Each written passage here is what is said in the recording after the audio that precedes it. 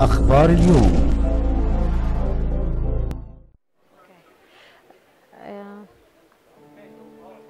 ماشي أوكي. وفعاليات المؤتمر النهارده بتاعنا بنرحب بالفنان الجميل مجدي كامل. أهلا بيك في بوابة أخبار اليوم. أهلا وسهلا يا فندم وازي حضرتك؟ في البداية يا أستاذ مجدي حضرتك تقول لي آه، موجود تواجدك النهارده في في الفعاليات. آه، ده راجع طبعا بقى لدور حضرتك كفنان ولا كإنسان في الأول وفي الآخر؟ بص هو طبعا إنسان كان في, الأول وفنان آه، يعني ده رقم اتنين يعني. لكن انسانيا ومعنويا أنت بتشاركي وجدانيا لل- للناس مرضى السرطان يعني اتمنى الشفاء يا رب إن شاء الله.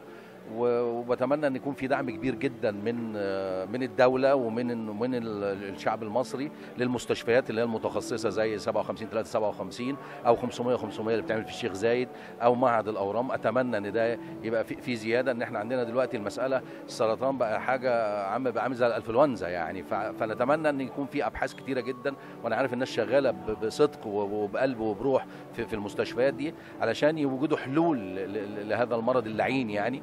فبتمنى الشفاء لكل الناس يا رب إن شاء الله. فعاليات النهارده بتهتم بالدول النامية بالذات ويمكن مصر يعني في المرحلة الحالية احدى الدول النامية. آه، حضرتك شايف آه، إيه اللي مطلوب لسه في الفترة اللي جاية؟ عشان خاطر مصر تقدر تواجه المرض ونتعدى بقى حدود الدول النامية. ما أنا بقول لك زي زي زي ما ما, ما, اتفقنا طبعا إحنا من الدول النامية طبعا إن إحنا محتاجين كتيرة جدا على مستوى الصحة بشكل عام مش مش مرض السرطان بالتحديد يعني. ال- ال- الملف ده لازم يتفتح بشكل أو بآخر على كل المستشفيات. طبعا اللي اللي في حاجات طبعا مسرطنه كتيرة جدا في في, الغذاء ده برضو لازم من وزارة الزراعة برضو الابحاث تبقى تبقى كتيرة جدا على مستوى المية على كل ال- الحاجات.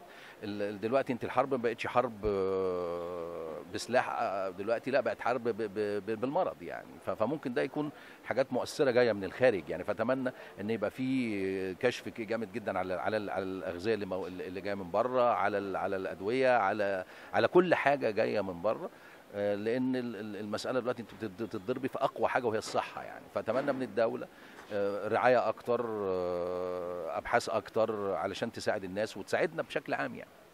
بعيدا عن فعاليات النهارده حضرتك متفائل بالانتخابات البرلمانية الجديدة؟ وإيه رأيك فيها؟ بصي الشعب اللي اختار يعني ايا كان يعني فهو هو هل هو اللي هيتحمل النتيجة يعني.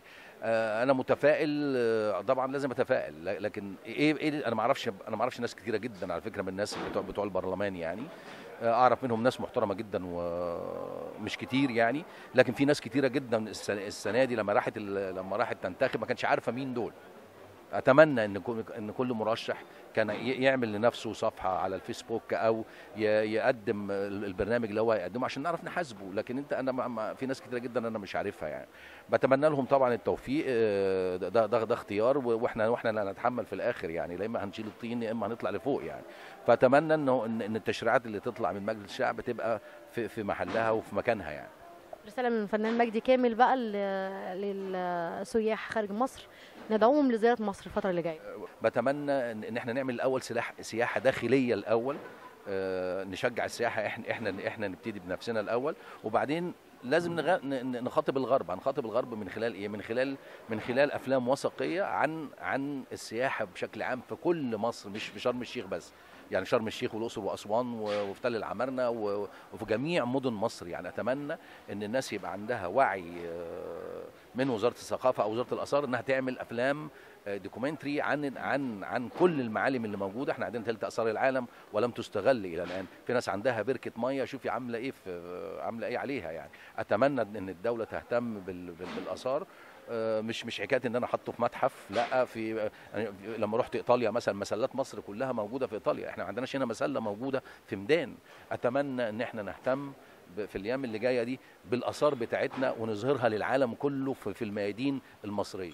فنان مجدي كامل برحب بيك. دايما ضيف عزيز في بوابة أخبار اليوم. أنا بشكرك وشكرا جزيلا وربنا يسعدكم يا رب كل سنة وأنتم طيبين.